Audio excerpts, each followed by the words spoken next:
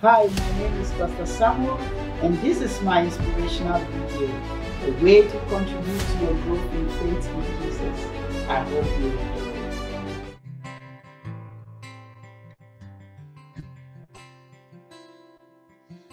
it. Look upon your sacrifice,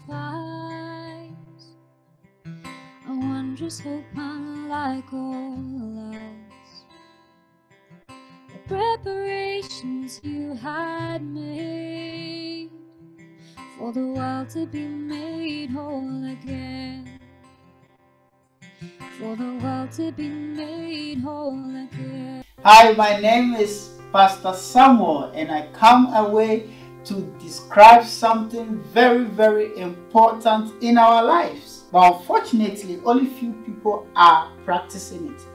The reason why I know that only few people are practicing it is because many of us are in bondage.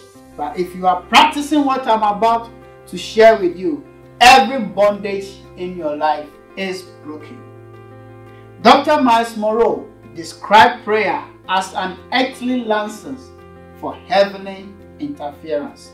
Why don't you ponder over this word as I continue? It is so, so important to know that the Holy Spirit is so gentle, even though He is all knowing, all powerful, significant, sovereign. He will not impose His will on you or make decision for you if you don't allow him through prayer. The only way you can allow him to have access and to interfere in your decision making is when you pray and allow him in your prayer. In fact, prayer is to spiritual life what oxygen is to the human body. That is why I believe that our Lord and Savior Jesus Christ said, Men ought always to pray and not to faint. Luke chapter 18, verse 1. Do you feel like fainting? Is the curse of this world trying to push you down? Remember to pray. Even though the system of this world is crafted and designed in such a way that no man can successfully make any significant impact in the life of people without God's intervention.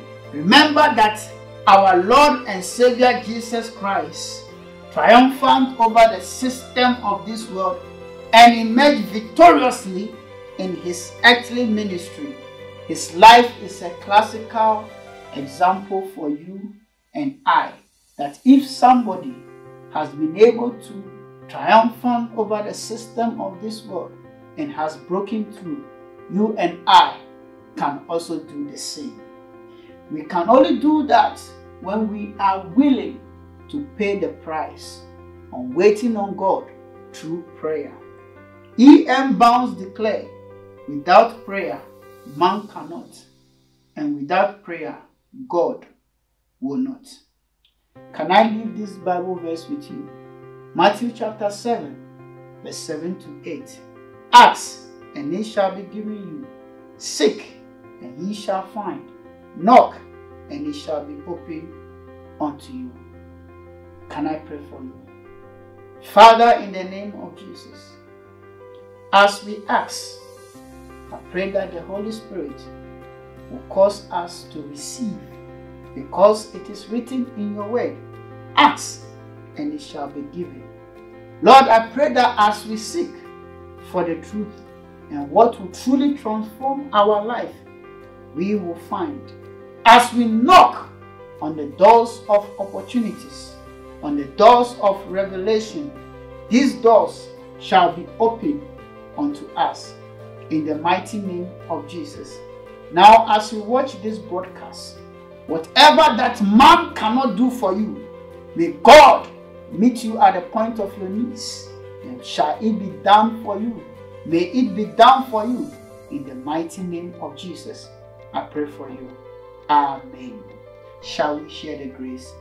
May the grace of our Lord Jesus Christ, the love of God, and the sweet fellowship of the Holy Spirit be with us now and forevermore. Surely goodness and mercy is following us all the days of our lives, and we are dwelling in the house of the Lord forever and ever. Amen. And now receive the blessing.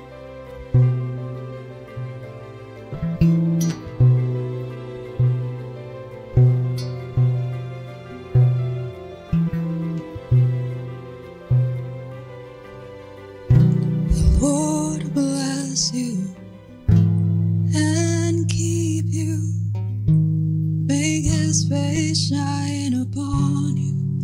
Be gracious to you. The Lord turn his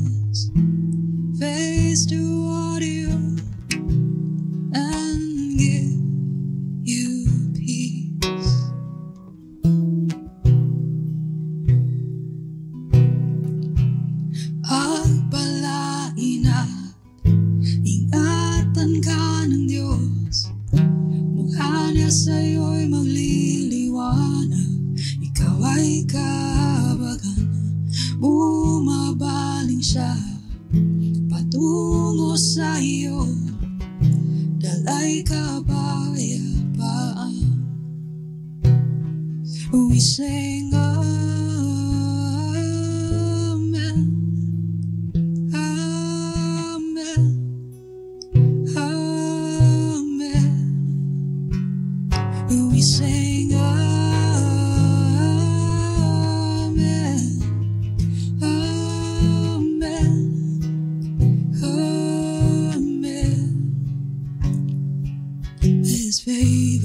be upon you and a thousand generations and your family and the children and your children and the children. May His favor be upon you and a thousand generations and your family